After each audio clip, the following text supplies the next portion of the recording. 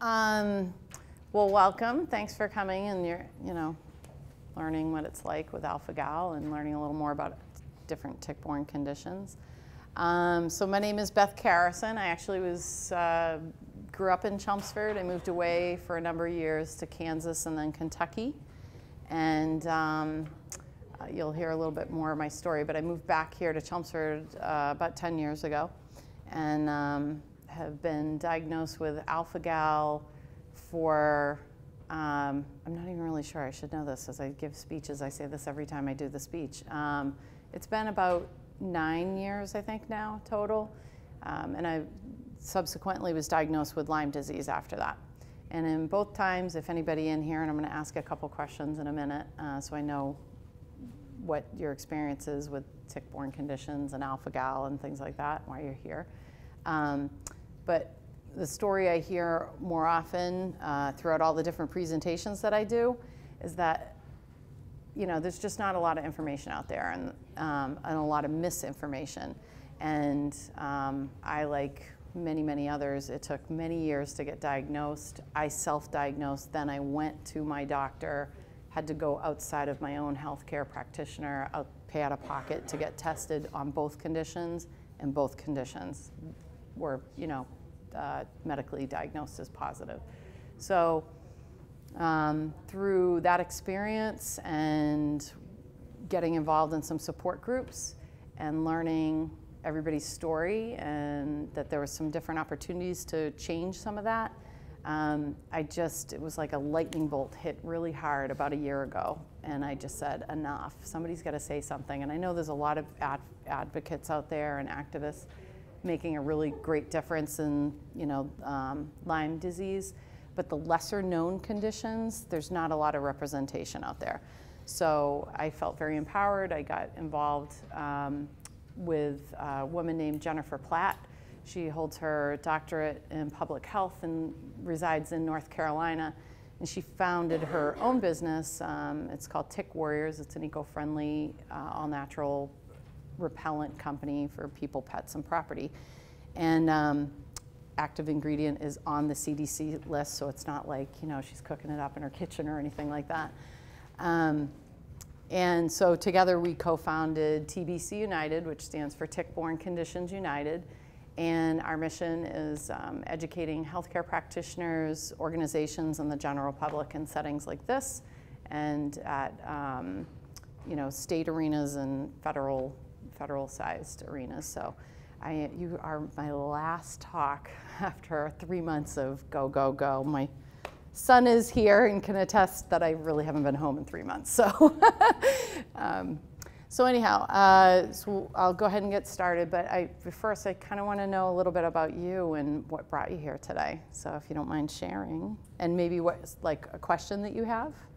Do you want to kick off? Well, I had Lyme disease for several weeks about 10 years ago. But I know there uh, a lot of people who suffered a lot more than I did mm -hmm. because mine was cleared up right away with antibiotics. And I know there are other conditions from ticks, so I was interested to hear more about it. Good. Okay. Thanks. Appreciate that. How about you? Yes. Yeah, I'm, I'm outside a lot. I have a big garden, and um, I'm you know, from what I hear about all the uh, things that can happen to you with Lyme disease, I you know, almost don't want to go outside anymore. Yeah. And there are a lot of deer running around, and I don't think the the deer problem has been addressed at all. Right. And I'd like yeah. to, to, see the town and the state do something about that yeah. problem. Yeah, it's uh, that's a good viewpoint there. Um, so there's been a lot of studies showing that with the increase of deers, there's the increase of ticks, the decrease of deers, the decrease of ticks. It's the, one of the main feeding uh, hosts of the ticks. So, and it depends. Different ticks feed at different times. Um, the Lone Star tick, which is predominantly known with this condition, feeds at all stages. So it's a vicious little thing. Um, Tom, Carol, what brings you here? I know. uh, we met Ken, we met uh, Beth at the uh, Javelins and that. She just uh, we just connected with her cause. So. Yeah. We'd never heard about the gal before. so she started explaining. Yeah, yeah. So, how about you? Uh, I had Lyme maybe four or five years ago, time ago, like. I know. Track. And also Bell's palsy kind of Mm. Hinges along with it. Does, yeah. I got up after getting diagnosed with thought I was having a stroke. It's scary. Yeah. Yeah, my nephew, same thing. Yep. I recovered pretty well. Oh, that's My great. daughter, genetically, got Lyme, and I don't know, Yeah. she just seems to struggle. Yeah, and the, so there's um, a couple reasons they're figuring out about that. So just in the last conference, we heard that they've uncovered there's a life cycle to the spirochetes with Lyme disease, and it's about a four-week cycle. So has anybody ever had a flea infestation at their house? Like, no? Really? Okay, we had a lot of cats growing up, so we had a problem at one point. And so there's a life cycle, right? So the flea has a baby, and then it has, you know, has lots of babies, it has lots of eggs, and then, you know, you spray your house, and that takes care of those fleas, the adult fleas, but the eggs are kind of protected, and then all of a sudden, um, or you know, as it's pregnant, then all of a sudden those things hatch, and then they have babies, and it's just this vicious cycle. If you ever do the math on it, it's incredible.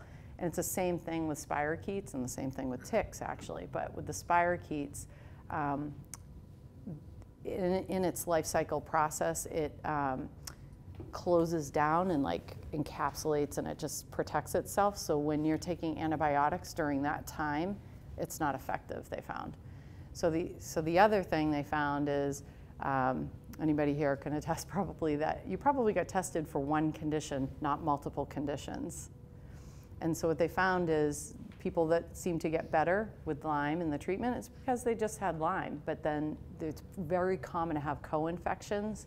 So if, you know, it's kind of like I get in an accident and I have a broken leg and a broken arm. My doctor's just fixing my leg. I still have the broken arm, right? It's never, you know, it's not going to heal quite right unless they address it. So um, they're finding that's really important that they address both conditions or, you know, look for multiple conditions known to that tick. So a lot of education needing to be done. How about you? Anybody else over here? You guys? No? My son will love hearing this. My name's Dan. I was diagnosed with alpha gal two years ago, and um, it's been a bumpy, bumpy ride for me Mm. with everything, adjusting dietary stuff, Yep. cross contamination at restaurants, and it's mainly been consuming food that's been taking me out, literally. Yeah. I think I've got it dialed in now. Pretty much eat vegan, um, but like little things like gelatin, which is derived from cow bones and whatever. Yeah. I'm allergic to cows 100%. So it's it's crazy. Is that of all the mammal meats? Is that the kryptonite?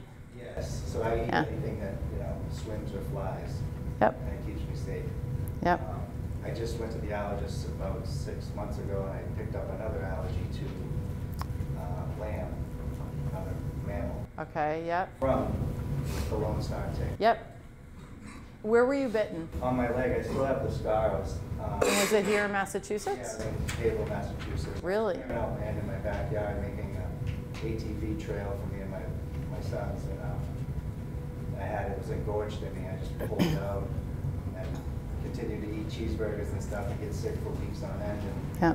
didn't know what was wrong, I was just tired all the time, falling asleep, I'd get home from work, sit on the couch and pass out, it'd be like five o'clock. Yeah. My wife's like, "What's- what's wrong? Yeah. You know what I mean? It's scary. So, you know, that went on for a long time, and no one really knew, Just thought I was tired all the time Yeah. going to the ER and oh, you're dehydrated and here, drink this, and Yep. none of it worked. Yep. And then the last stop was the allergist, and they did all kinds of tests, and it was hundred percent across the board. So you're really lucky that the allergist knew about it because most, most there's no. So one of the t- hurdles, and you'll, I'll say it again. Um, there's no diagnostic code. So when I walk into the ER, and I say, they say, you know, what's your medical ailments? I'm like, I have a penicillin allergy and I have an um, alpha-gal syndrome, and they're like, is that a feminist movement off Facebook? You know, I'm like, no, it's an allergy to mammal mammal? You know, because it's not one of the top eight allergens. And do you ever categorize, like, what are you having for dinner tonight? Um, we're having mammal.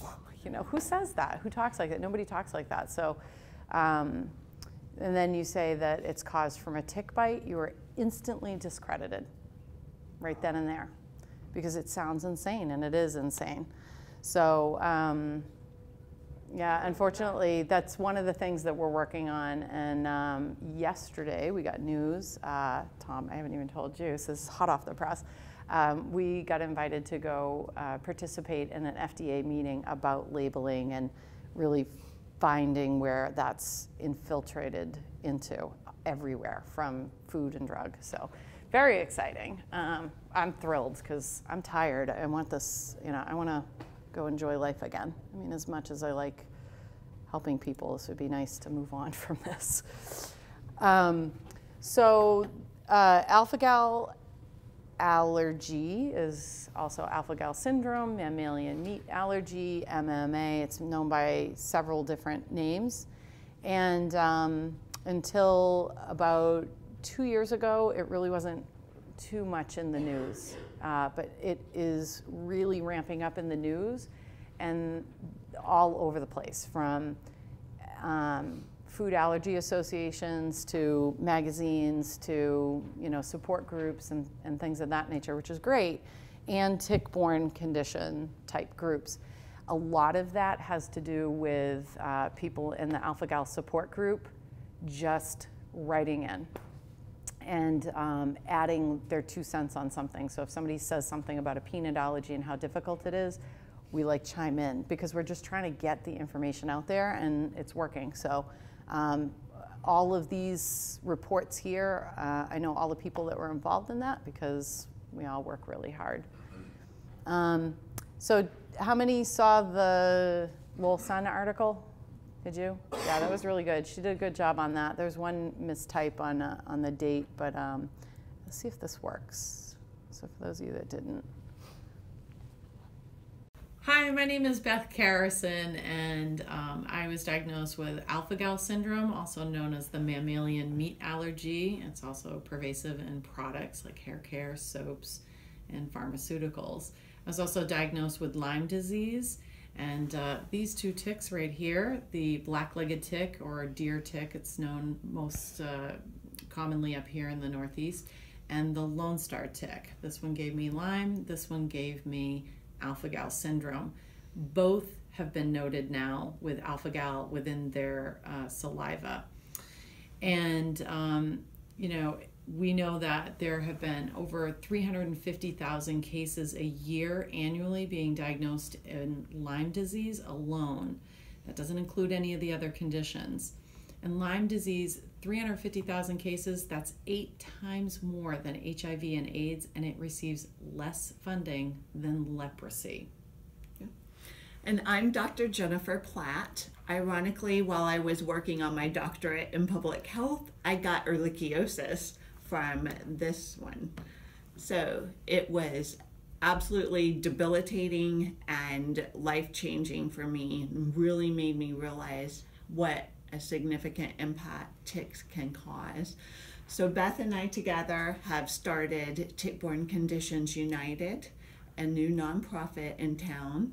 And our mission is to educate healthcare professionals, patients, and the general public about lesser known conditions such as ehrlichiosis and alpha gal syndrome because there's a lot of attention paid to Lyme, and many people are suffering from Lyme disease, mm-hmm. as well as the lesser known conditions. There are many patients suffering from those too, and we want to help educate about how people can live with them and manage them so that they can have a, a healthy life.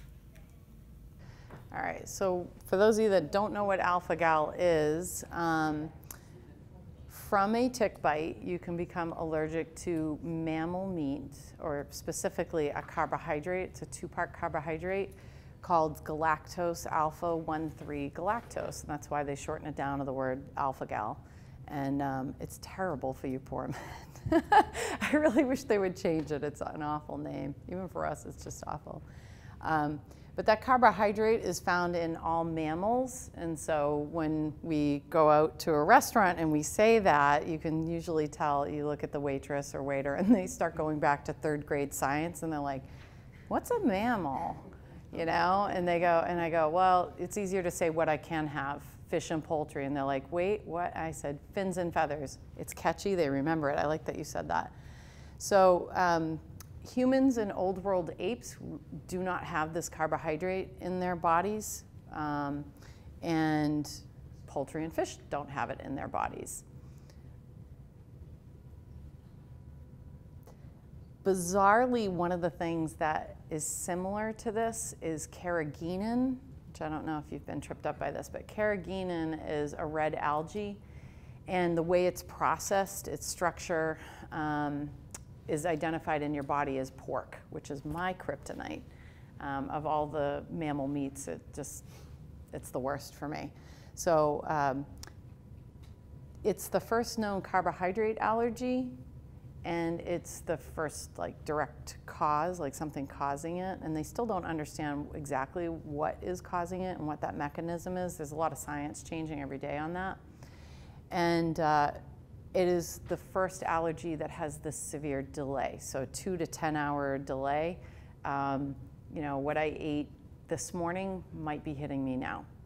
Like, how do you, you know, it makes it difficult when you're having an anaphylactic reaction. You show up in the ER, you know, the ER is thinking, what did you just have within the last five minutes, 10 minutes, one hour, you know, what have you been exposed to? So this is, these are some of the things that are tripping up a lot of people that get diagnosed, coincidentally, get diagnosed.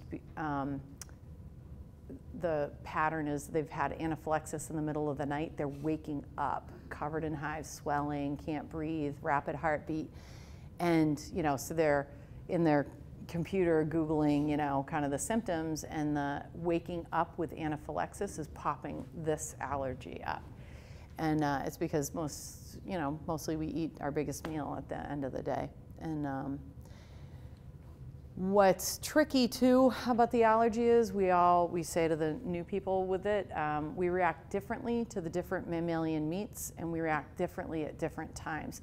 Food allergies don't have any muscle memory, so one time it could be just really severe GI distress, meaning diarrhea, just it's worse than anything you could possibly imagine. Um, it could be burning skin, like somebody has a hot iron on you, but all over your body. Really itchy, your skin's crawling, it's um, hives, swelling of the face, the airway, you can't breathe, rapid heartbeat, sudden blood pressure drop, collapse, all, the, everything that goes along with a food allergy. So that can happen whether you ingest it or some people are really hypersensitive, and so for some, like us, it's airborne. So if you put a pork sandwich in front of me that's hot and steamy, um, I will react. Like I'll, all of a sudden my skin will just, anywhere there's exposed skin, it'll just burn, and then I'll be covered in hives. And if I don't quickly leave the area and wash up, it could blossom into anaphylaxis. I never know. Um, and there's some other things that set it off airborne like and so then also you think of like topical so stuff that i apply on my skin or um, you know if i touch meat like i don't you know cook it in our house anymore we don't even have it in our house anymore um, or anything. Yeah. Does the epipen reverse that if you have one with you? So that's a good question. Um, no not really so, I mean, yeah, it does. It calms your histamines down, but EpiPens, Benadryl, antihistamines are absolutely no good guarantee um, that you survive an anaphylactic reaction. Not to sound, but it, it's true. So there's a lot of people that say, oh, I'll just gamble it and I'm going to go out and I'm going to have pizza. Uh, some people can't have dairy, so um, because there is alpha gal in there, some people just seem to tolerate it a little bit better. But uh, you know, it's Russian roulette. You never know. Or they say, I haven't had a steak in months. I'm going to have a steak. And they have a steak and they risk it. So they kind of treat themselves with some Benadryl and they have their EpiPen. And there's no guarantee that you're going to survive an anaphylactic reaction ever, even with two shots or three shots. We have people who have carry four shots of epinephrine and that just gets them to where the ambulance gets to their door. And it's still, you know, they're still touch and go. Um, there's only one lab in the that test for this too, which is odd, and they're working on that. There's a couple places working through that right now. So um, I have some brochures up there that have the, that has the information on it. Um, and let's see, anything else I want to say? No, it's carbohydrate allergy, delayed reaction. It can be airborne, mammal. And mammal, think of um, warm, warm-blooded live birth vertebrate has fur. So not fins, not feathers. So you wonder, okay, I don't want to get bitten by this tick because I like my cheeseburgers, right? So something to know, worldwide, there's six known ticks. Um, I have their common name and their scientific name, except for number six, there is no common name for it. So um, he, worldwide, there's six different ticks. In the United States, we know there's three of these ticks here.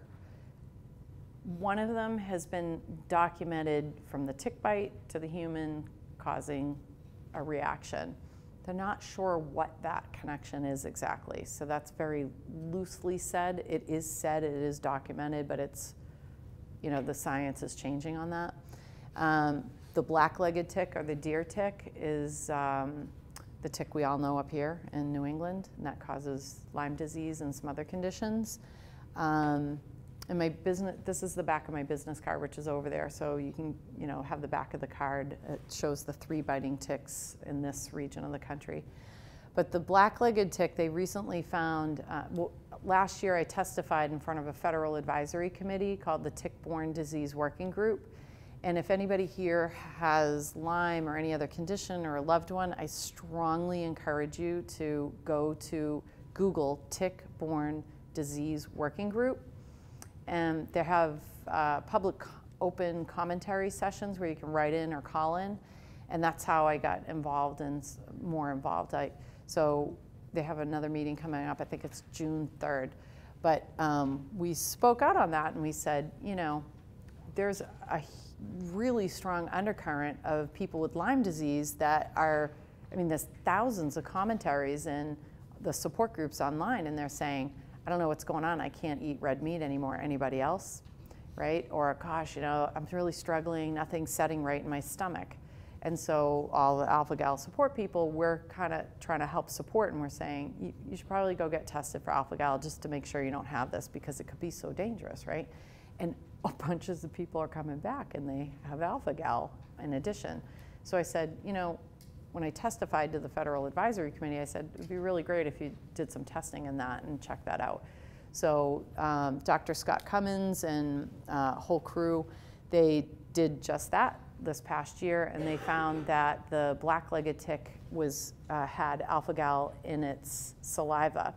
But what they also found and didn't expect was they've thought that the tick bites the, um, now the Lone Star tick bites at the three different stages, uh, nymph, um, a, a larva, nymph, and adult.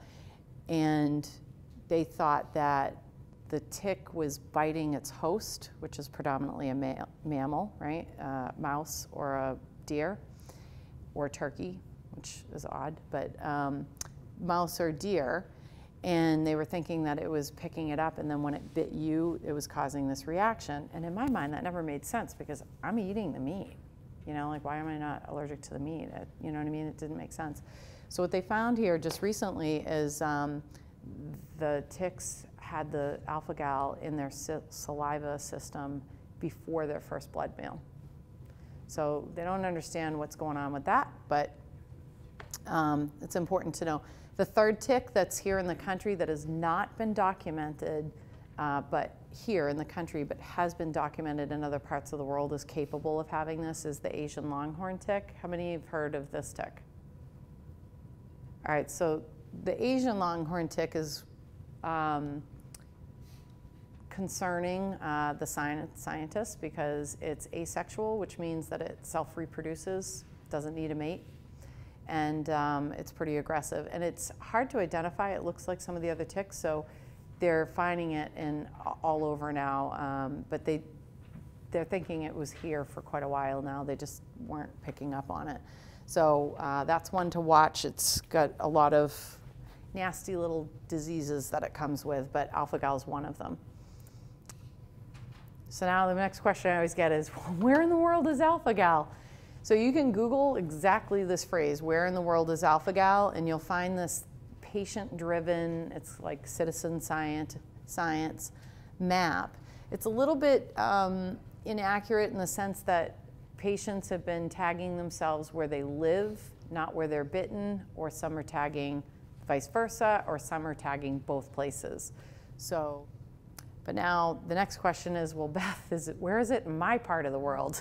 So this map right here, um, the, if you go to that where in the world is alpha-gal syndrome, you can zoom in and open up the, the map. So you can see up the East Coast. So when I was first diagnosed, I was the only person on that map from New York up. And some of those dots are multiple people, they're not singular.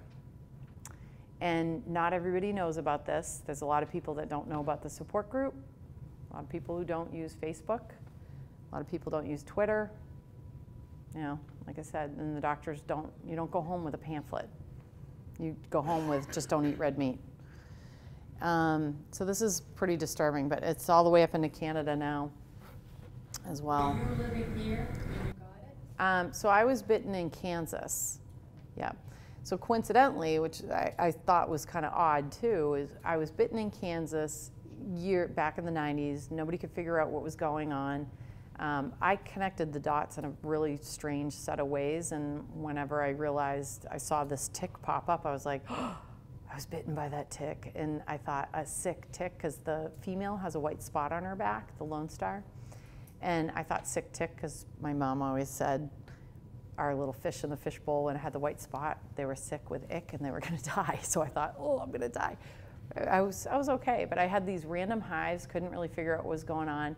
It wasn't really that bad. I mean, it was bad, but it wasn't like it is now.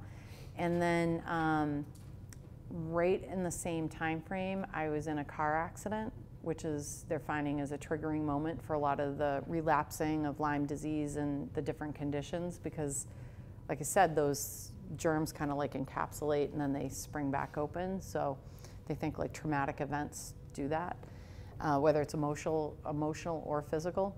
So they were thinking maybe that might be it, but I also was bitten by the black-legged tick at that time. And that's when eh, the whole allergy just like exploded on me. I was really having a hard time with everything around me. And um, I got serious trying to figure it out. And when I made that connection, I frankly, I was in denial. I was like, no, this can't be happening. And so I refrained from all mammal meat and I tried some pork and I really struggled. I had my lips swelled up, I couldn't breathe, my eyes swelled up, and I was covered in hives. And I said, Oh, I should probably go get this checked out. And I was fortunate. Dr. Curtis Moody in Concord actually um, just came home from a conference where the founding doctor was speaking, and he said, "Geez, you, you got lucky." He said, I, "I actually, I think this might be what you have."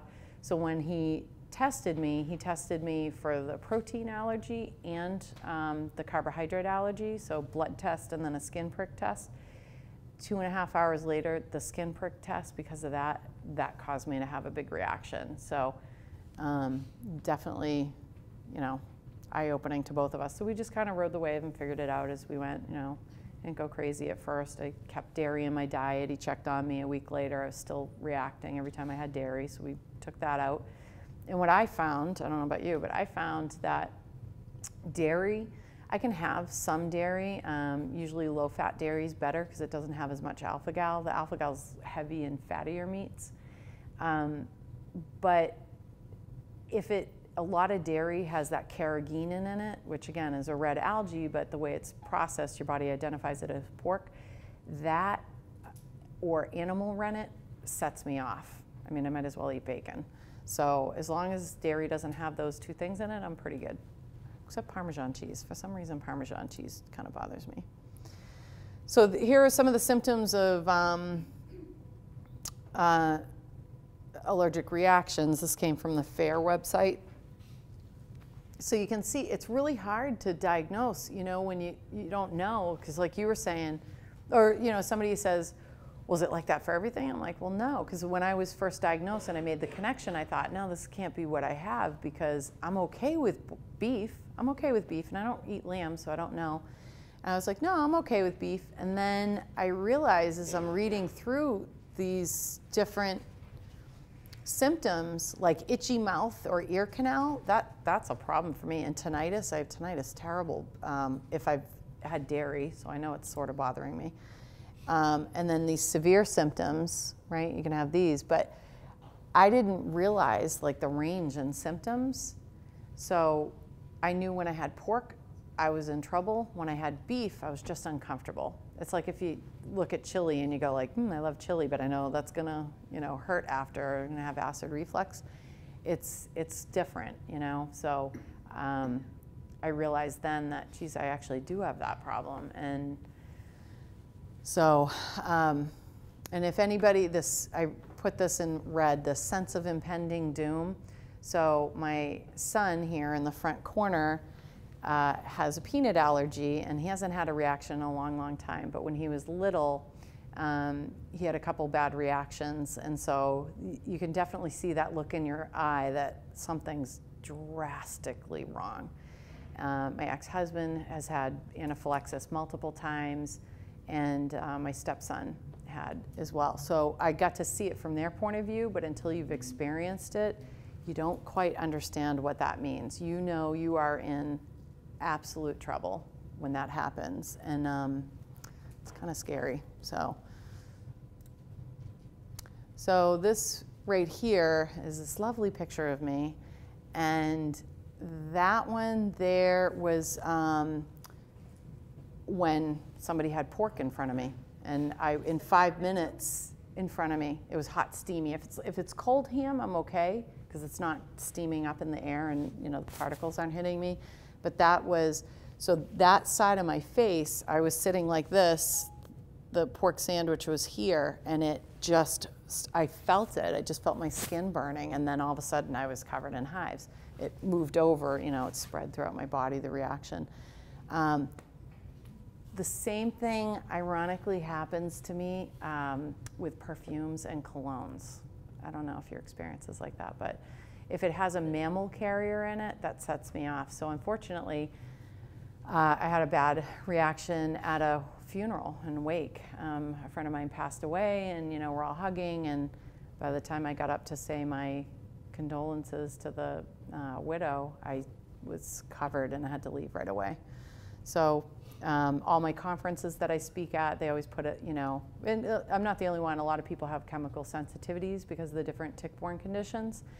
And um, they have no fragrance policy, but people don't quite understand fully, and they come in with perfumes and colognes. And unfortunately, every single conference that I've gone to speak at, I've had a reaction. Every single one. Um, it's a little frustrating, but as I speak out on it, I can guarantee you those people aren't wearing perfume the next time they go to that conference. So, because um, I get really nice apologies, you know, people don't realize, you know, they think it's a sniffle or just a preference, and it's not, it's anaphylaxis. So now, how many people get this? Uh, right now in the United States, they've, this one lab has reported over 60,000 people with it um, in the last 10 years. They think that is severely understated because that a lot of people just don't know. Um, the last two years, there's about, been about 16,000, and that's coming out of the same area of the country because it's gaining momentum and doctors are more aware of it. All right, so a day in the life of somebody with alpha-gal. So I'm going to do this little um, scenario with you that I've done. It's been kind of fun. So everybody stand up. All right, thank you. I know who's gonna win. it's not a contest. Okay, so this morning, if you took a shower and you used just, you know, everyday soap that you get at the grocery store, shampoo, conditioner, body wash, um, if you've used one of those really nice razors with that glide gel strip that doesn't cut your legs anymore, love that. If you've used any of those products, sit down. Okay. if you use deodorant, cologne, perfume, lotions, cosmetics, or cosmetic brushes that were not synthetic, sit down. Please. If you took any supplements, prescription, uh, over the counter, pill form, capsule form, specifically gelatin capsule, um, or uh, if you have a need for heparin, I don't know that anybody would use that just casually, but um, uh, yeah, so any medications, any supplements, um, and you know that they weren't made at a compounding pharmacy and they did not contain any mammal derived ingredients like magnesium stearate, which nobody would really think that's cow, right? Sit down, please. What about aspirin? Aspirin, it's over the counter, yep. So that would be something, yep. Sit down. Yep, you can sit down, yep. So, okay. okay. Um, if you have taken a plane, a train, or an automobile, uh, like a shared lift ride or something like that, um, you've been in any public settings, meaning like at work, at a school, a hospital, then you would sit down. No? Okay. So we're here tonight, but that's okay. What's that? Yeah. Okay. that's okay. And then the last question, you might get this one. Um, if you have kissed your spouse and your spouse did not brush and floss their teeth on the same day that they've eaten any mammal meats, you can sit down. Oh, okay, either she brushes and flosses or. She's just like I do though. oh, that's good, yeah. makes life so much easier. It does, doesn't it? Yeah, it does. Yay, good, yeah. but it just makes life so much easier. Oh, that's great.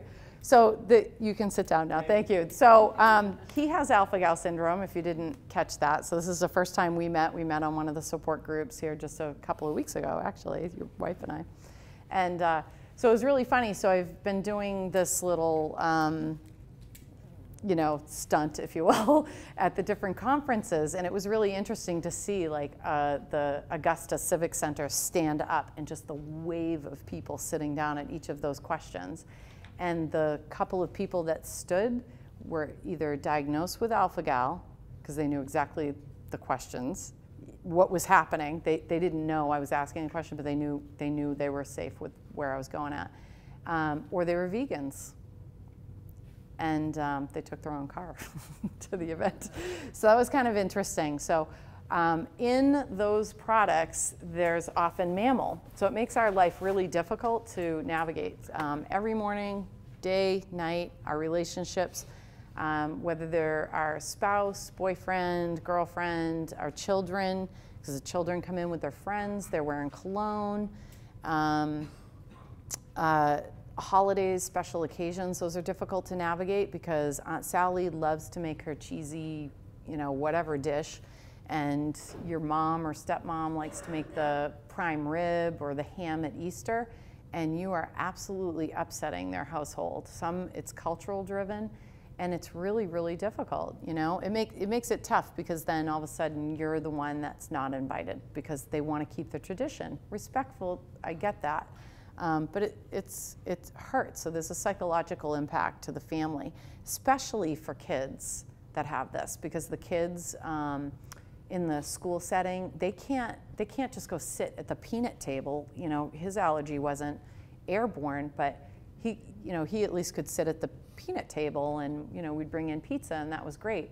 These kids can't even be in, some of them that are highly sensitive, they can't even be in the wing of the school we have several, many kids that have had to be pulled out of the school setting and homeschooled because they can't, you know, with all the colognes at the high school and, you know, beef burgers cooking and dairy covered pizza and uh, just general exposure. So um, definitely, and then of course dating and all the social affairs that go with school, it makes it really tough for them.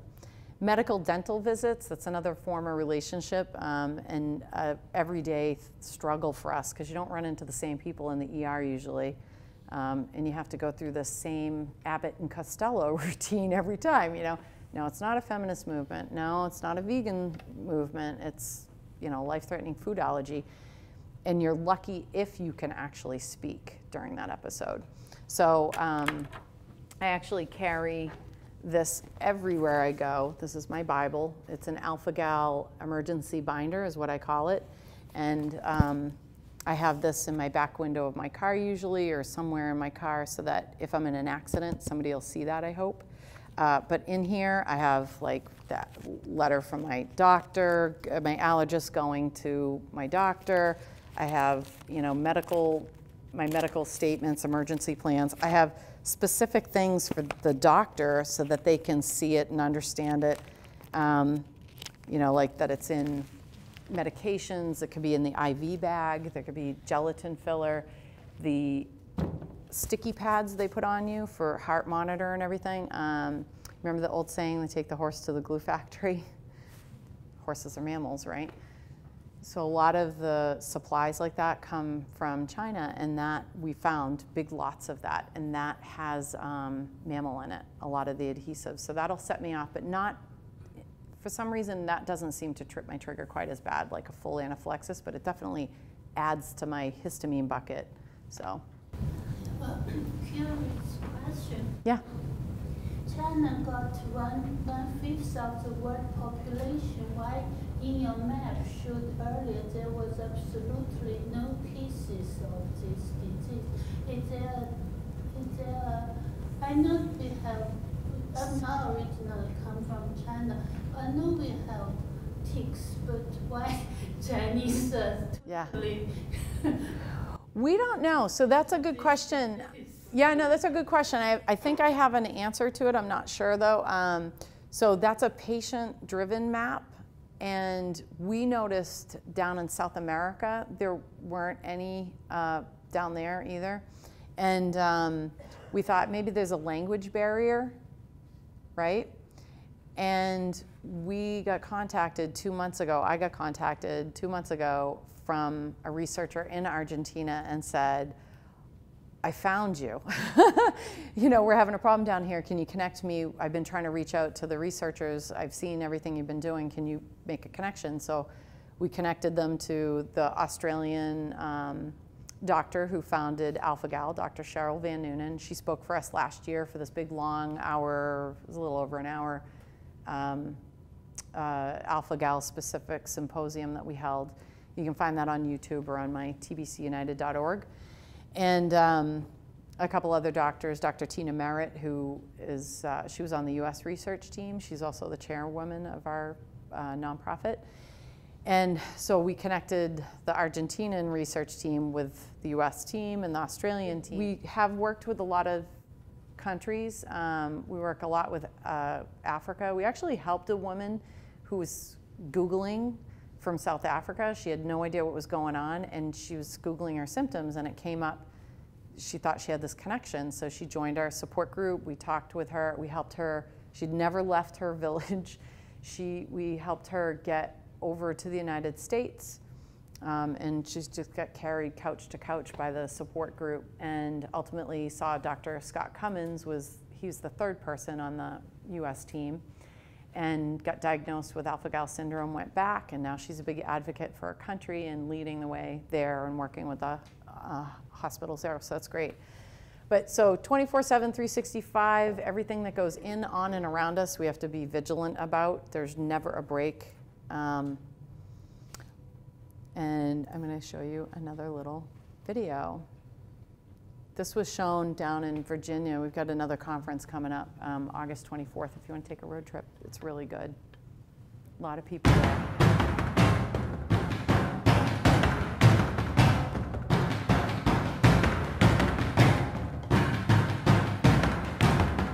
This is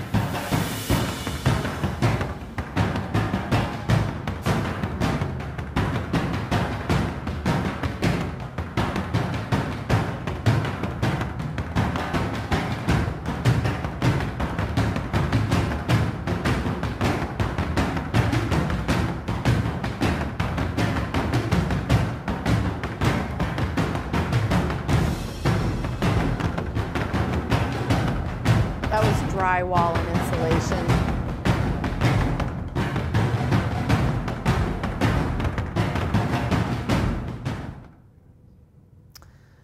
So that that's I don't know if you picked up exactly what that is, but all of those products, that's all stuff that we have to think about.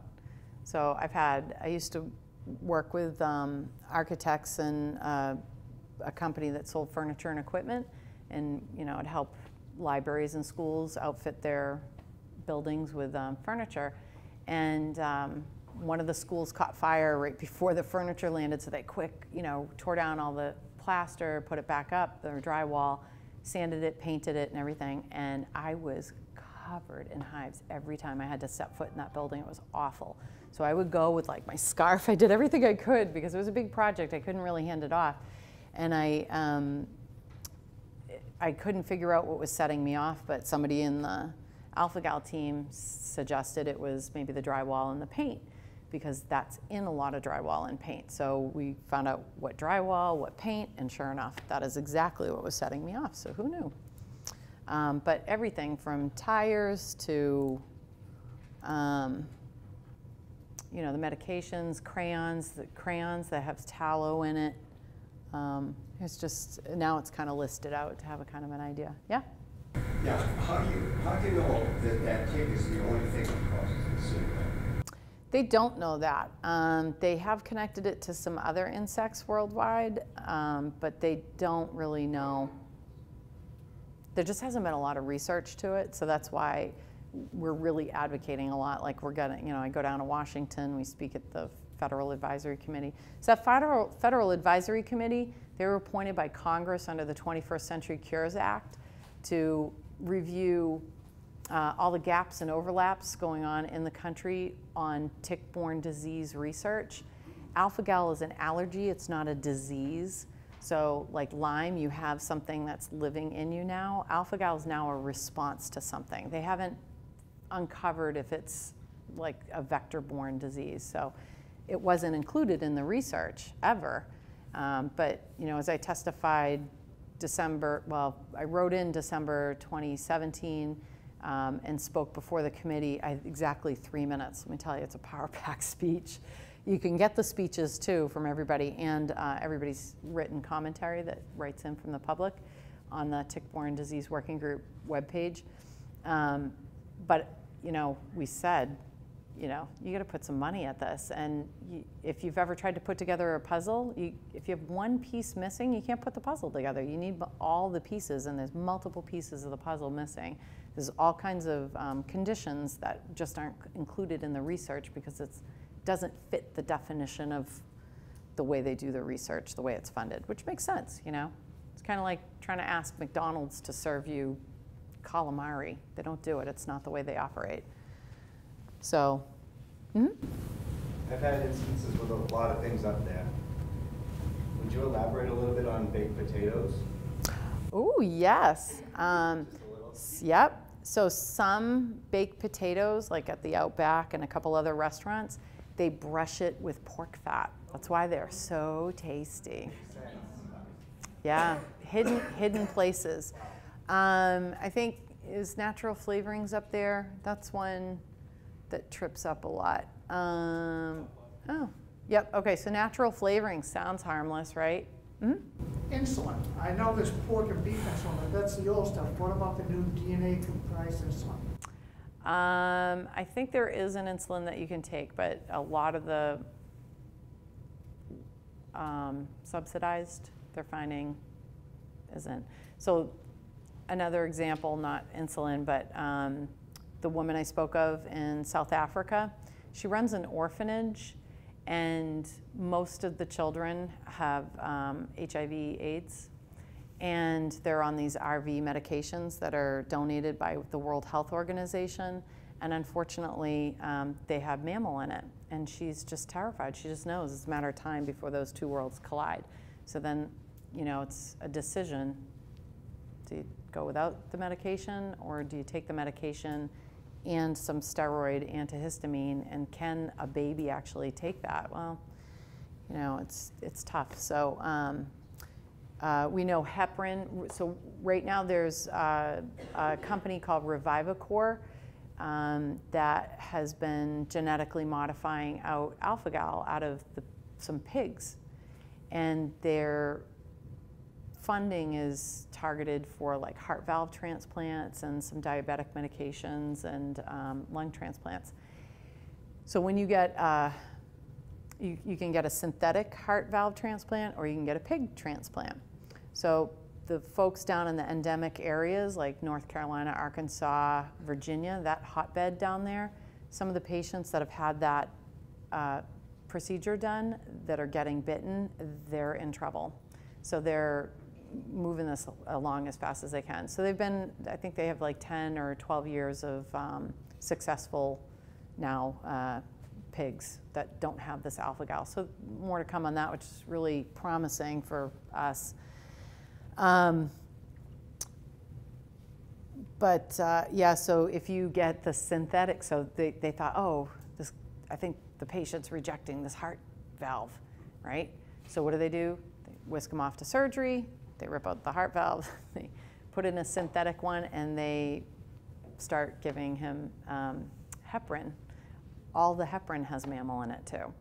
So it's just a no-win situation right now. It's really kind of scary. Had somebody on dialysis recently that called us, panicked on a Saturday night. The spouse was dying. They, you know, and all the blood builders had alpha gal in it, and they're just like, but they, we figured out a protocol to help them out. I mean, I didn't. I'm not a doctor, so. Um, so anyway, yeah, a lot of these, uh, all this up here, I mean, it's in like processed foods. It's in nail polish got me once. I couldn't figure out why all, I was just nonstop reactive. And coincidentally, I was wearing this really cute teal nail polish for Allergy Awareness Month. And um, I was seeing a dietitian to kind of work on my diet a little bit, make sure like I was getting the right nutrients because you know you get thrown off in your diet. And um, I was having this nonstop reaction, and she said something's not right. And then she said, you know, the first two times you came in, you didn't have nail polish on. She goes, how often do you do that? And I said, I never wear nail polish. I mean, I do now because I found cute vegan nail polish. But um, so that's, she looked up the brand and sure enough it had mammal in it. So that was kind of an interesting thing. Uh, surgical sutures, internal sutures, um, you can get them without mammal. I mean, all of the stuff you can get without mammal in different forms. Um, there's plant-based glycerin, leather, suede. Some people react, some don't. I'm okay with leather, suede, not so much. Uh, it's just too raw, it sets me off dairy, whey. Some people react, some people don't. Adhesive bandages, tape, envelopes. I've had a bad reaction from licking an envelope, believe it or not. One, donate blood? Yes, they can because we don't have alpha gal, we react to alpha gal. Yeah, there's been a lot of debate about that. Um, I don't because I have trouble with low blood sugar issues, I had bad reaction, but even if I didn't, I personally wouldn't because I don't think the story's finished. I don't think they've really figured this thing out. And, and that's my personal belief. A lot of people still do. And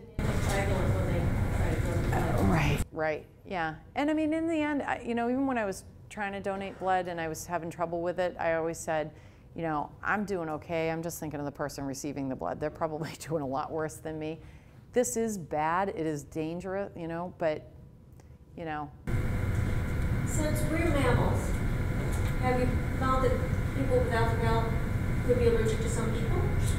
No, we don't have alpha gal in our bodies. Um, humans and old world apes don't have it. Yep, yep. Uh, pet foods, you know, there's a lot of mammal in that. That can be a problem. Some candles, wax, asphalt binder. We had a gentleman find that out the hard way. his job. A lot of professions had to change. I got a question. Yeah. Um, like, like if you get bitten by a, um, a deer tick, the deer tick, from what I understand, may or may not have the, the bacteria that cause Lyme disease. Yeah. Now, if you get bitten by the Lone Star tick, mm -hmm. is it guaranteed that you're going to get you guys ask great questions. I love this. Um, it's so nice, not like, so you're vegan? um, the answer is no, not everybody gets it. So we have a couple that's husband and wife, they own a farm and they're repeatedly bitten. One seems to get sicker and sicker, more reactive, and the other one's fine. So they don't really understand why. Um, I know for me, that, like I said, I was in the car accident, I was bitten again by the black-legged tick. a couple of times. We have a place up in Maine. We hike all the time.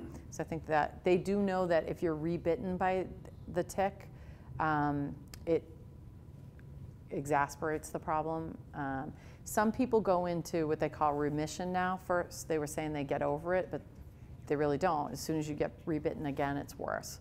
So that's unfortunate. Mm-hmm. Have you ever heard of situations where people have grown out of it? Yeah, so that's the same thing. Yeah, they found that um, there's a very small population that go into remission, is what they're calling it. Yeah. My allergist told me that I was one in five of people that he had known that had it, three of them, those races. That's excellent.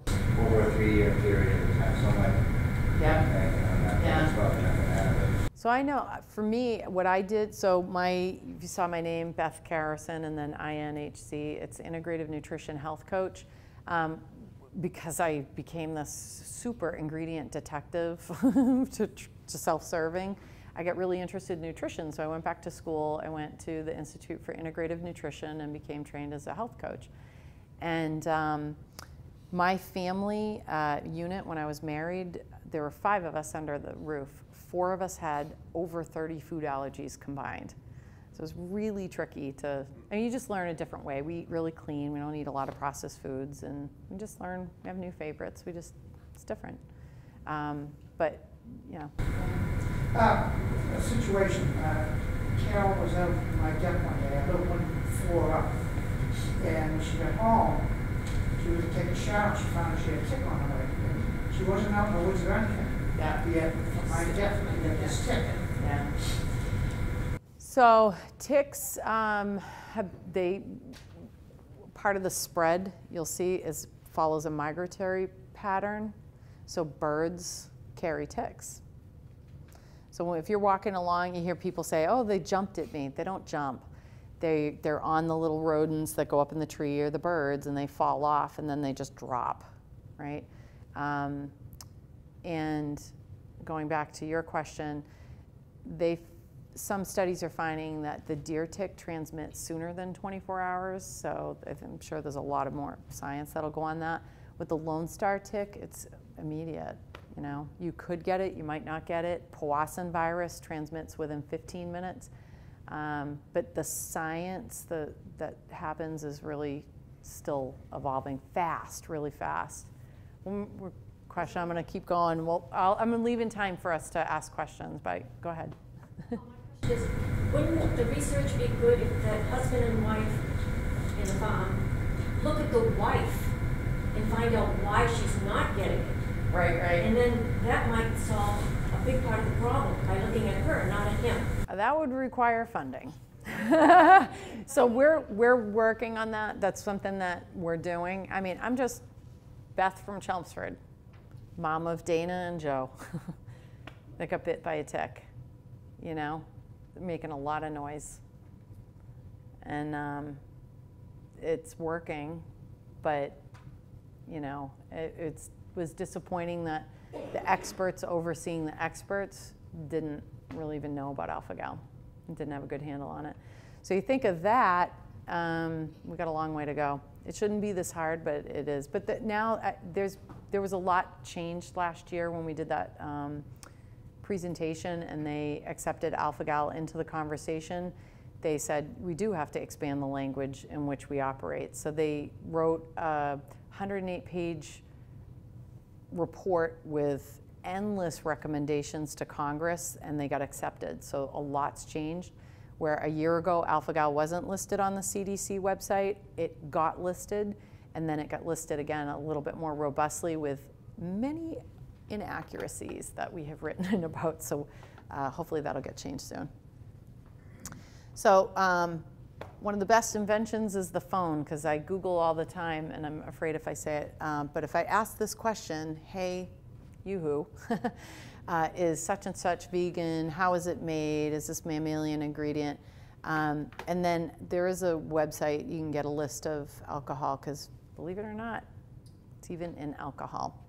And they found too that alcohol and exercise um, can exasperate or induce the allergy faster than if you don't. And um, you know, why that is. Like if you exercise and then have a glass of wine or a beer, it goes through your blood system faster. So that, that's one reason. The other reason is it's a high histamine food because it's fermented. So that raises your, hist, you know, it's fermented, so it raises your histamine.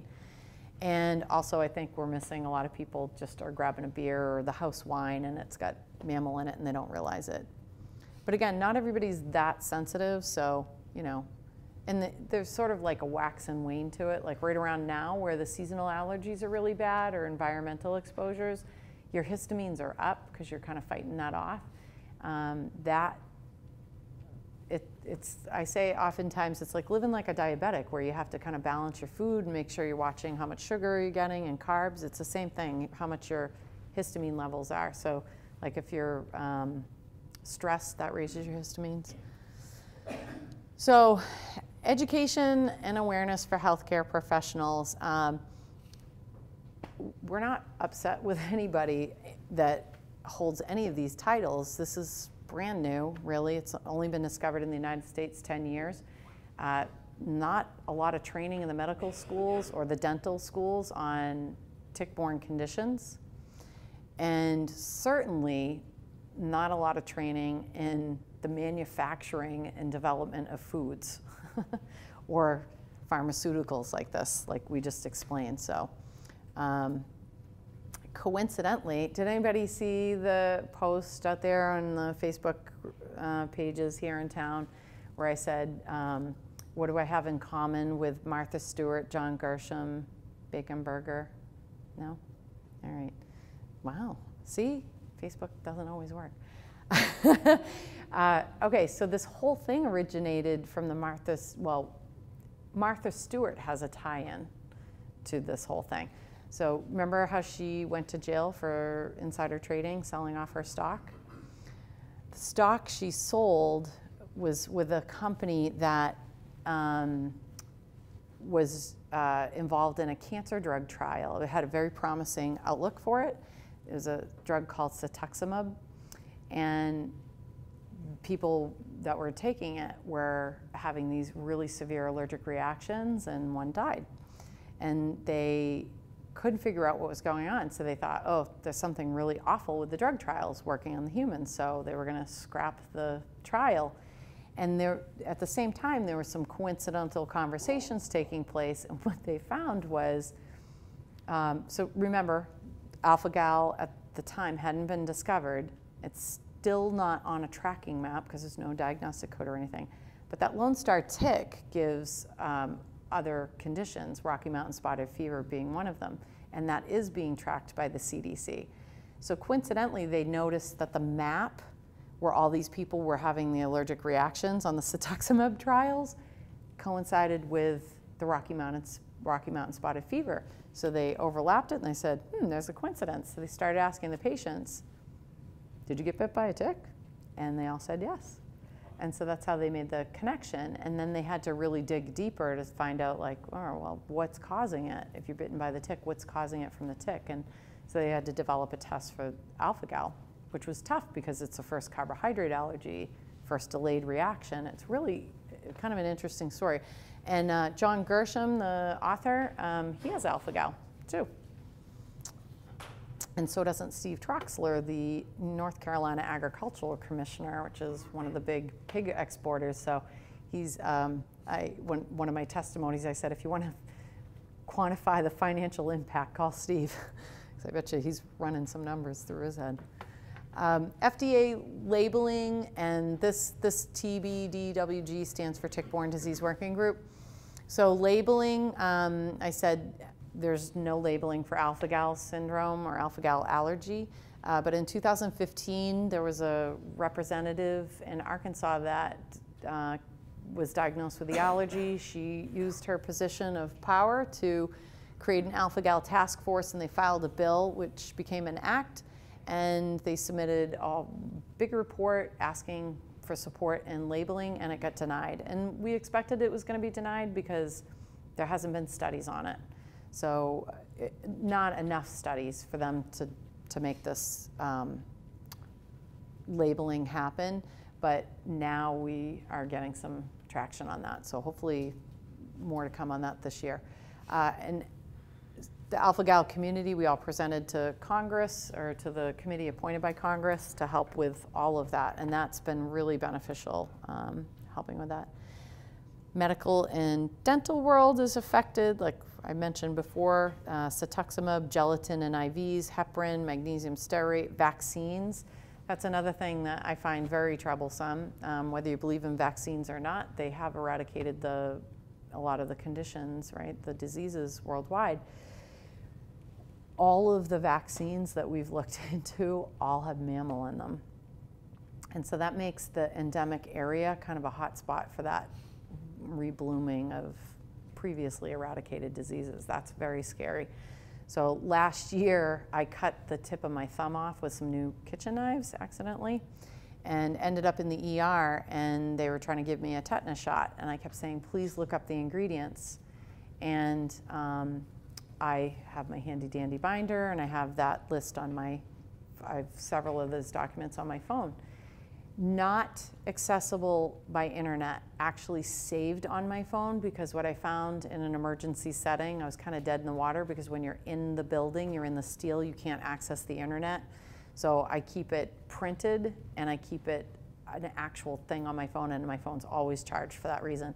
So anyway, I pull up, the, he wouldn't look at the, the ingredients. I, you know, he tried sticking me with the um, vaccination again and I said, I, I'll take it if you can guarantee me it doesn't have that in it. And if it does, and you really think I might have tet like be, be in trouble with tetanus, we need to talk about like some steroidal treatment or something, and I need to make sure that's, you know, safe for me too. And he said, "What are you allergic to?" Again, and I said, "Mammal." I know it sounds crazy, and he goes, "Ma'am, I'm not trying to feed you a cheeseburger." I'm like channeling the inner advocate. you know, be nice, be nice. And it was hard. So I pulled up my list on my phone and I asked him, I said, could you verify which, which tetanus you're giving me? And he said, that one. And I said, and what do the ingredients say? And he says, oh, well, I'll be, look at that. So lesson learned, he didn't know, you know. Um, so in the vaccines, I'm asked all the time, what's in the vaccine? Well, there's a lot of things. This is a short list. If you want to look it up, you can go and Google. So I sat there. So I went looking through. You can see over here um, the ingredients, right? Bovine, pig, canine, African green monkey, guinea pig cell cultures, cocker spaniels, mouse brains, calf. Those in por porcine gelatin, those all sound and, and fetal bovine, that, those all sound mammalish, right? but what about lactose? Well, some people kind of pick up on that. Glycerin, uh, I knew it from all the other ingredients. Probably derived from mammal, and I found in that one it was. Magnesium stearate, same thing. Usually it's mammalian derived. But these other ones, Mueller's growth medium, medium 199, Fenton medium, I was like, oh, that's curious. I wonder what that's made of. So one of them, Mueller's growth medium, one of the ingredients said Mueller's growth medium without, and I think it was calf uh, serum or something like that, you know, something that said like mammal to me. And I was like, oh, okay, that one should be good. And then I thought, mm, what makes up the rest of that Mueller's growth medium? So I dug in, and there were layers of it that involved mammal. So, um, you know, something that's concerning. I, I've spoken with people at the CDC about that as well, and it's actually something that helps the vaccine be a little bit more effective. So, um, kind of a trouble. I mean, we could potentially get it, the vaccines, but you know, it's like your question, does the EpiPen, you know, always save you? Well, no, not always. So you're taking a risk when you're doing it, but sometimes it's really the risk outweighs the benefit, so you kind of have to. Uh, ongoing support. So um, I always tell people, you know, keep working with your practitioners so that they grow with you. Send them every time you see a report, you send it to your doctor so they learn and grow alongside of you. Because it's really frustrating when you show up at your doctor and you know more than them and you're in trouble, you know, because they're, they're like, wait, you know, they want to make sure you're not just Googling it off of Bob's website. You know, they want to make sure it's real credible information. I don't, I, I, I wouldn't want my doctor Googling Bob's website for information, you know. Um, so these are uh, the different support systems, I guess, and ADA laws. That's another one. It's kind of tough. So this is another example of, this is really an example of a day in the life. So this was, I was on Long Island this past weekend with Jennifer Platt, um, the other co-founder of Tick-Borne Disease, or TBC United, and uh, in all our travels, every morning, she's got the drill down pat. First off, she never packs her stuff. She uses my stuff because it just makes it safer in the shower. But um, in the morning, she gets up and she goes down to the hotel lobby and to the restaurant and gets my coffee and checks out what the menu is and if it's safe for me to go down there. Because if it's a small area and they're cooking bacon or sausage, I can't be in there because of the airborne incident. So most often I can't go. She'll just grab me some food. She knows the drill. She makes sure they check, cooks it separately, and it's all safe and everything. So we did this little awareness piece. Public health circles, they have a term called DALYs, which stands for Disability Adjusted Life Years. It's basically a measure of your quality of life. People that have tick-borne conditions that are chronic and recurring are constantly dealing with issues on their quality of life. My business partner, Beth, who has been diagnosed with alpha-gal syndrome has to worry constantly when she's out in public about what she's going to be exposed to. Case in point, right here behind me, is the kitchen and what kind of things that they're cooking. Maybe they're cooking pork bacon or pork sausage. That's actually her kryptonite. So before we came down to breakfast this morning, I had to come out and check it out and make sure that it was safe for her. That is what it's like to deal with a tick-borne condition in one little small scenario every single day, every single month, every single year. And she goes and she checks out my environment for me to make sure that I'm safe. And she's kind of a pit bull too when we go to the conferences and people say, oh my God, I, I saw you online, uh, and want to hug me. And she's like, wait, do you have anything on? And they're like, oh yeah, sorry about that. You know, because we float around in different like Lyme disease circles and stuff like that. Uh, so the other area is education to different organizations like schools, employers, food service, manufacturers. We've talked to a lot of different manufacturers. We've got a couple that started labeling their stuff Alpha-Gal Safe because they saw a great market for it, which is good. Um, outdoor clubs, hunting, fishing, athletic, gardening, off-roading, all of those we go around and we talk to and you know so if you have any of those we'd love to come in and talk to them about it. Um, schools and employers is tricky, you know, because you want to make sure you support your employees if they have this condition or any food allergy or disability, but also you want to protect the kids and your employees because you don't want them walking through the soccer fields or the, the woods to the soccer fields and getting bitten and then having this because then you have a real problem, right? But any tick, you know, is potential for disease, which is bad. So advocating, um, you know, anybody around me, so my kids know what to do. Uh, they're where all my um, emergency contacts have a smaller version of this and, and it, we've had the conversation what needs to happen um, in case they get that phone call. I've had that conversation with my own doctor. I'm like, I really need you up to speed in case I get in a car accident. And she did quickly um, when I had an incident, which was good. So um, that's TBC United. We, you know, we're going around. We're educating healthcare pro professionals. We just delivered training to the North Carolina Nurses Association. Hired by Blue Cross Blue Shield. They got their CME credits. Soon we'll be able to offer that ourselves. Uh, different organizations and town, town functions like this. And um, soon uh, the training will be available online where doctors and different healthcare professionals and organizations can dial in and take the online training and get CME credits from the comfort of their own home, which will be really nice. Because there really isn't anything. I mean, they pick up like at this level. They go into this really big conference on ticks or allergic reactions or you know entomology or something like that, and infectious disease, and they're just catching sound bites of the stuff going on with ticks. They don't get the full gamut like the ticks in your state, and here are the conditions they give. So we're working on that. Um, and we have really great support and buy-in from the Federal Advisory Committee and other others they've been cheering us on, which is really nice. So that is really a day in the life of an alpha gal, like all the stuff that we do and what I've been doing. Um, and again, I'm just Beth from Chelmsford, you know. So whatever your condition is, if it's Lyme or another condition or a loved one, if you can get involved and step up, your voice does get heard. But you just have to be um, persistent, as one of the Federal Advisory Committee's members called me. Yeah. Your in Mm-hmm. and you come in, what's the best way of making sure you're not taking anything surprise? Oh, great question. Yep. So, um, first off, ticks can live. How many days do you think a tick can live in water? Anybody want to take a guess? Not you two. How many?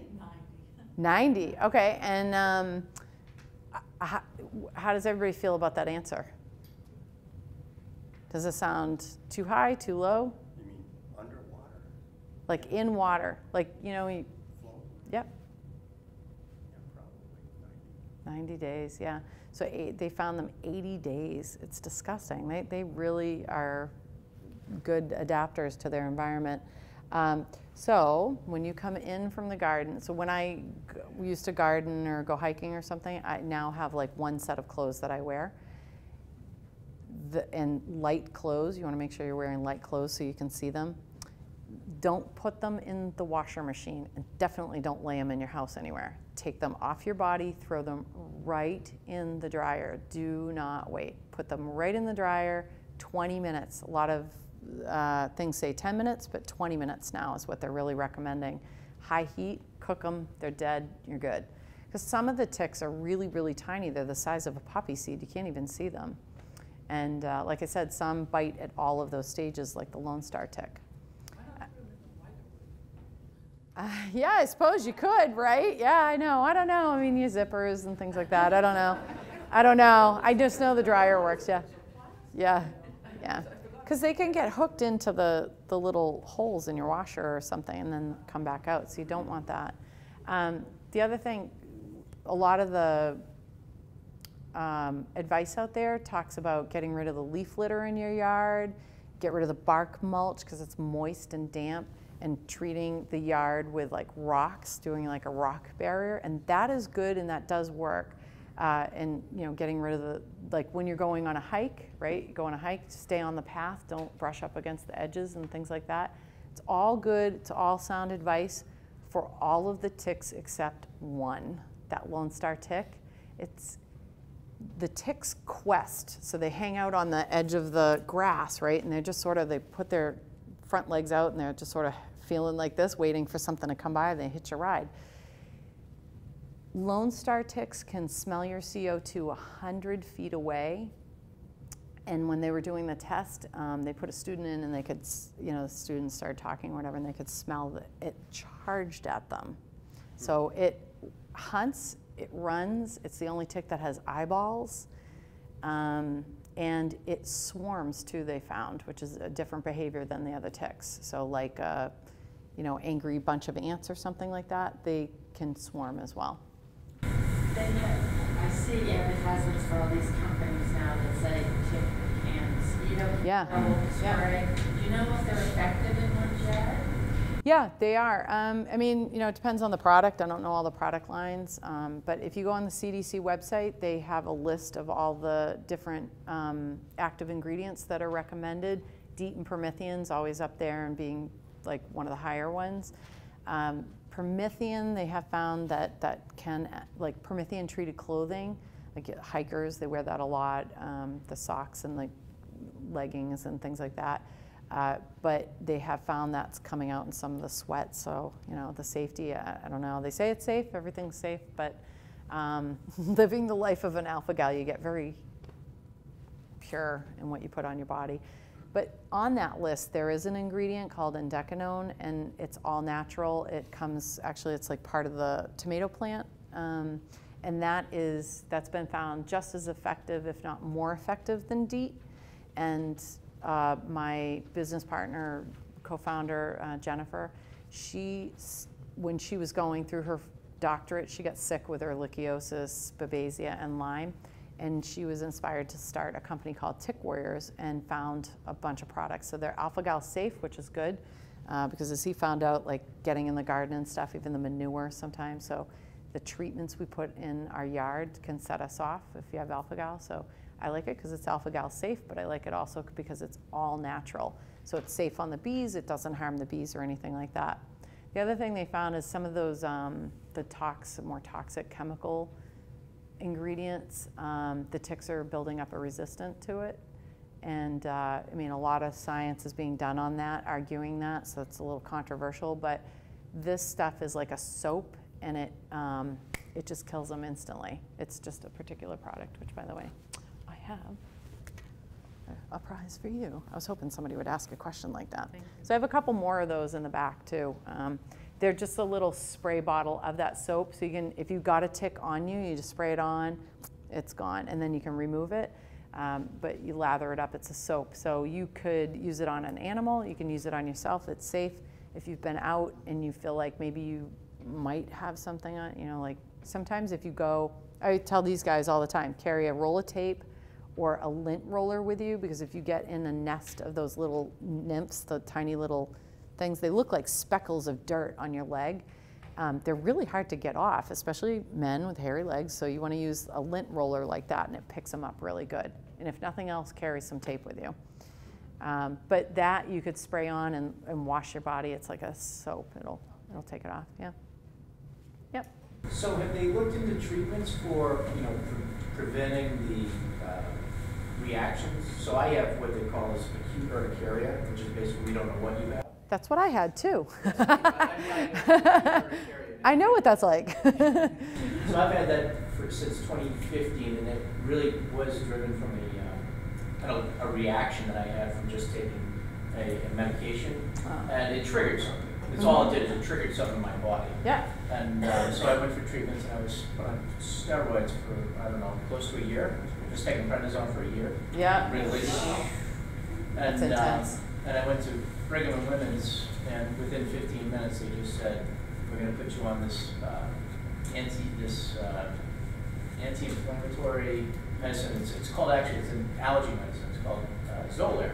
So I oh, get these, yeah. these injections, monthly injections, and depending on you know if I'm on the uh, no matter what it is, something triggers it, and you know all the symptoms you're talking about. I've ended up with four or five rolls, ruling oh. like can't break but long story short is, is of course I have the, the non-diagnosis. Yeah.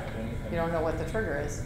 Well, Xolair is something that does tend to keep it at bay. Okay. Until whatever. Um, yeah. Like you were saying, like you know, if you eat something, you brush up against something, a band-aid, um, all things that I find that are can set me off in one direction or another. It's it's really just based on, like you said, you just don't know. So you might want to ask your doctor to get tested for alpha gal. So has, just has, to has, see. Has they ever have they ever like said you know Xolair is a great treatment or even looked at it as a treatment? Yeah, uh, Dr. Commins is doing a lot of research down in U- University in North Carolina, Chapel Hill, and they've been using Xolair, but it does have a mammal component in it. So some people have been doing okay with it, and it's really changed their life, given them back their quality of life. I mean, there's some people who you know, they're getting into arguments with their neighbors grilling because the grill, that airborne coming in their windows, is setting them off. Uh, yeah, I mean, we have two grills in our house. I can't cook on the same grill as everybody else. But um, yeah, it definitely is one of those. It's kind of like that steroidal treatment. You know, some people just have to be on stuff all the time. Any other questions? Yeah?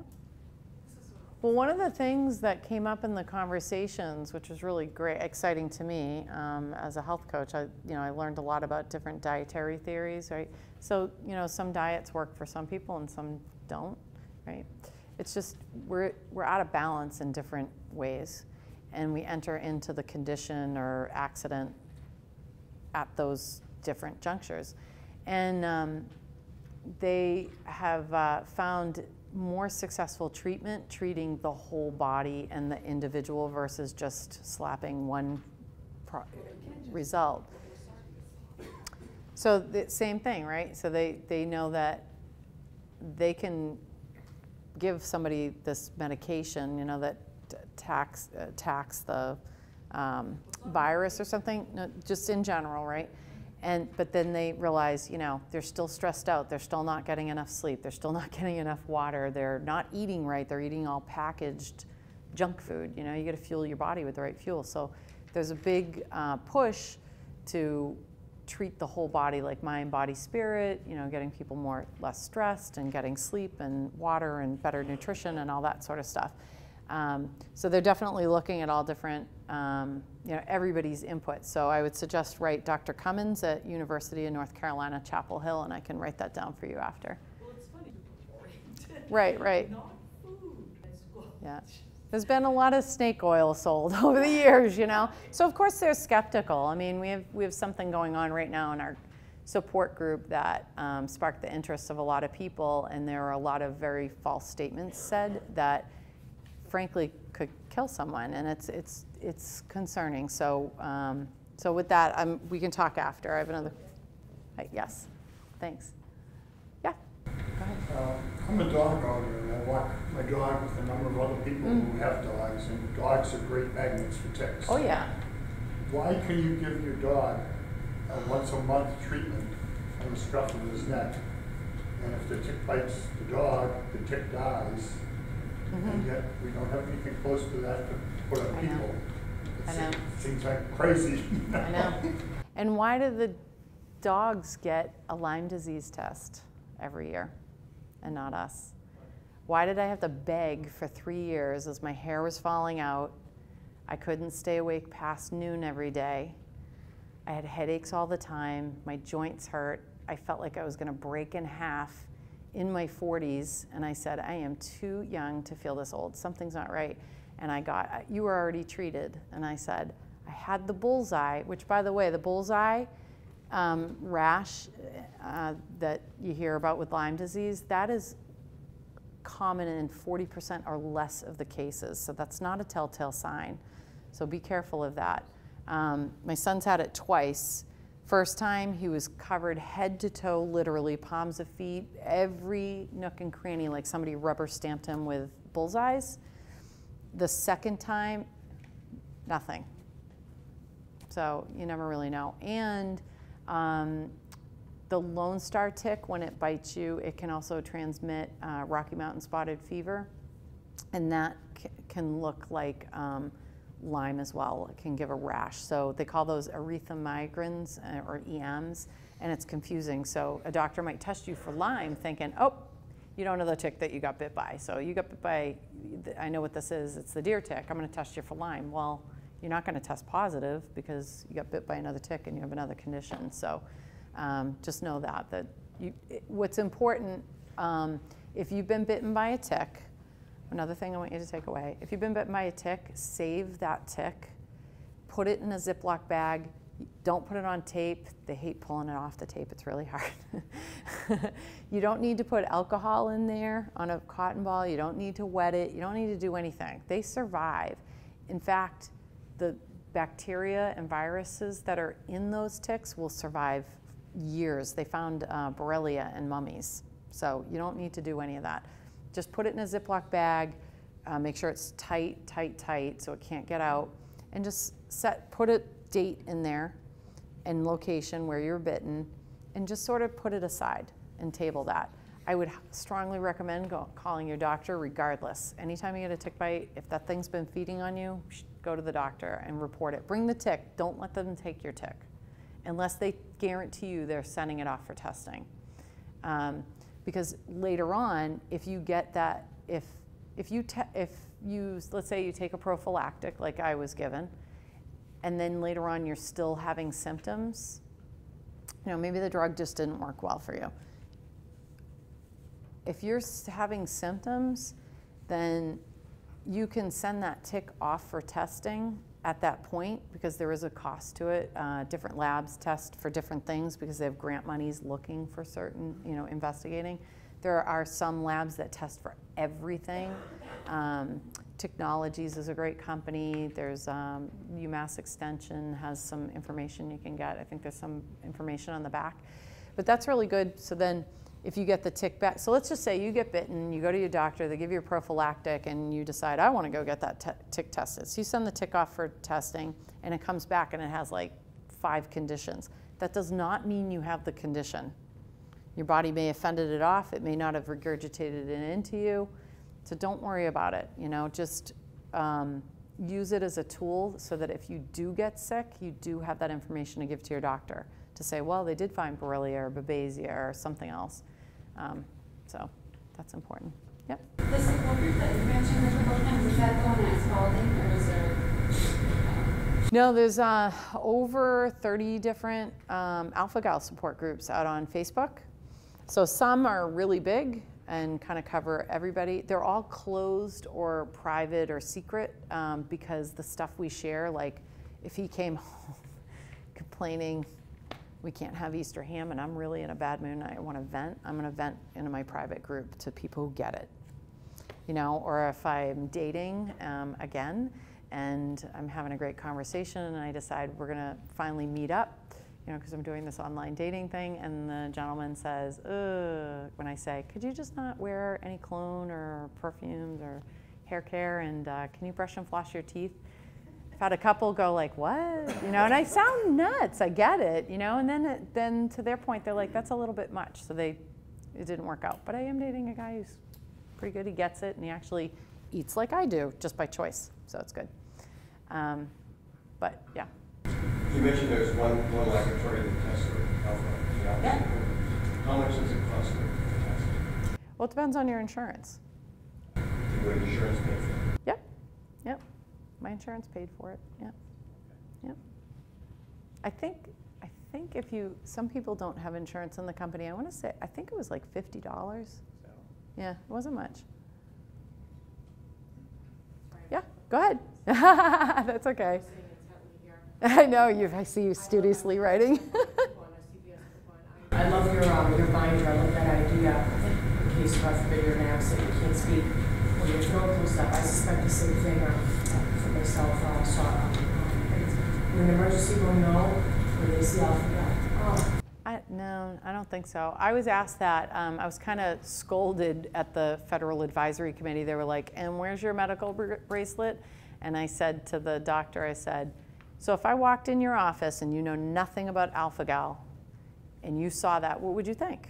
It was just a trendy like chick thing, right? You know, I'm like having a feminist movement here." And he goes, "Yeah, true."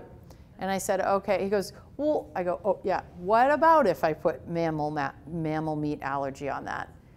What, how's that going to help me?" And he said, Ooh, that's a good point, because he knew where I was going with that. He said, It would help you if you've had mammal and an exposure, they would know to treat you for an allergic reaction. They would identify and go, like, oh, that's a she has a mammal meat allergy, it's a reaction. But if they're putting the IV in me and it has gelatin, they don't know that. You know, and they don't know about the adhesives, they don't know that the nurse has perfume on, you know, all these other incidentals, they don't know those things. So I um, I hope that that's going to change soon with some new ICD codes and uh, awareness. But I suggest to people, um, and I need to heed my own advice. We found a company called Road ID that gives you like six lines of information that you can put on, and phone number, and they will house that information. So I can give them a basic write-up for the ER calling in to that number. So I like that one myself. And they have these cute little tags that can go on the side. So um, I can put like, you know, something that would direct them. I, I, my hope is to have one of those, uh, what are those things called? Those scanner things? Q, QR code or something like that where you scan it. I want to get one of those like we're looking at. No, it's like, you know, it's that square with the squiggly. Yeah, I kind of, we're, we're looking at trying to put that together so you can put that on, they scan it and it comes up, but they don't like, you know, the ambulances and stuff, they don't like the USB things because that injects a virus into their computers and stuff. So don't go that route. You want something where you can really put it in. Yeah. Okay.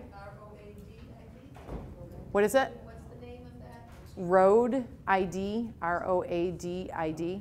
Yep. All right. Well, did you you feel like you can be safe with ticks and all? all right. Very good. Thanks, everybody. So there's pamphlets, there's uh, samples, there's little wristbands. You're welcome to them. Thank you. You're welcome. Thanks. Good luck.